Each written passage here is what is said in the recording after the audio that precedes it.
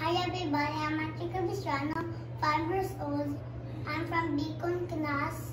Under teacher Jenny Pananiban. I have three books and, and my favorite is Jacket of Beanstalk. And it's a story of a young boy just like me and his mother. This book has colorful pictures and, and lots of stickers.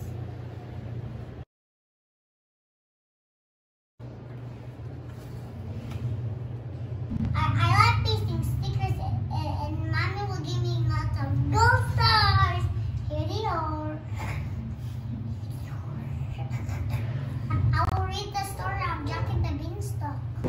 Jack and his mom Jane were poor, so Jack went to sell their only cow in town. A farmer gave Jack a jar of magic beans in exchange for his cow and Jack planted them in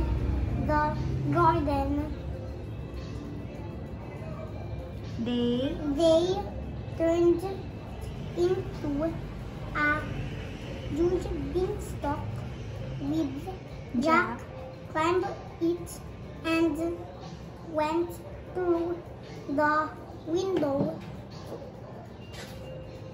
of the castle at the top. Jack found a giant king and his queen living there with a hen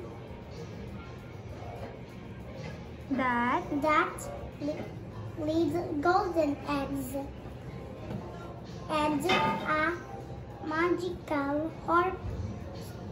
Jack zoomed down the beanstalk with them. He chopped it down and